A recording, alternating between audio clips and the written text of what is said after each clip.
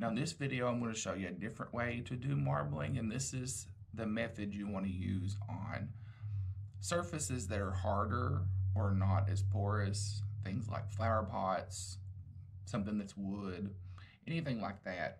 Now I know wood and flower pots and things are porous. That doesn't mean the other technique works all that well on it. I've done flower pots before using the technique in the other video. They turned out all right, but this method works for anything you want to marble and it's easy as pie, very easy to find the materials for it. I've got another aluminum baking pan, dollar piece at the Dollar Tree. And this one just has plain water, sink water. what we're gonna use for this is spray paint. You wanna make sure you use a gloss spray paint or like a super gloss. For some reason, those adhere to the surface a little better. Of course, shake it up just a little bit and you're gonna spray it on top of the water. I'm a little nervous about doing this so close to the camera. We're gonna give it a try. Cross your fingers. I'm also inside. This might not be a good idea.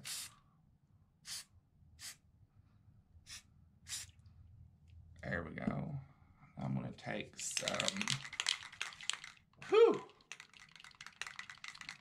That's stout. I'm gonna take some green. You don't want to spray too hard. And I've got another shade green. I'm gonna shoot back this way and see. Now, normally you don't have to stir this like you do the other method that I did, but I'm gonna give this a little thing. You can see it's spray paint. It's a little stringy. I've got three flower pots today. I've got two little ones and I've painted them black. Just see how this will turn out. And all you do is take them, go dip and roll it across the top of the water. Make sure you get everything covered good. Anything stringy, just wipe it off. It turned out pretty cool.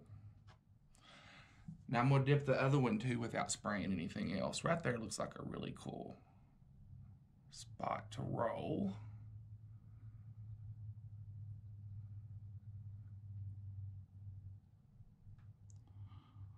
Those fumes are stout. That turned out pretty awesome.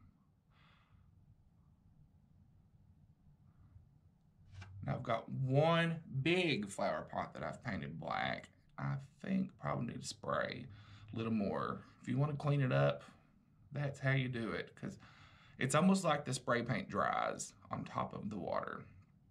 Where do I fling this? Bill. All right, I'm gonna start with the blue again. Try to go straight down this time.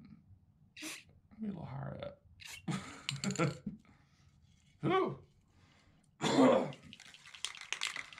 I'm liable to be plumb stupid here in a minute. These fumes. That green comes out strong, don't it?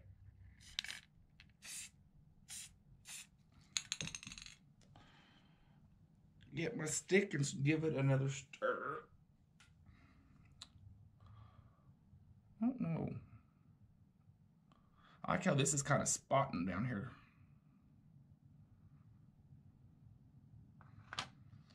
Now take the big flower pot.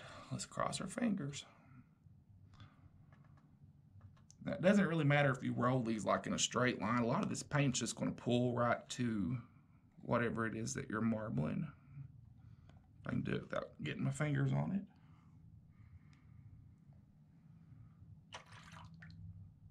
Turned out awesome too. Now I'm to let these dry, give them a little rinse, and then I'm to clear coat them We'll see how they've turned out.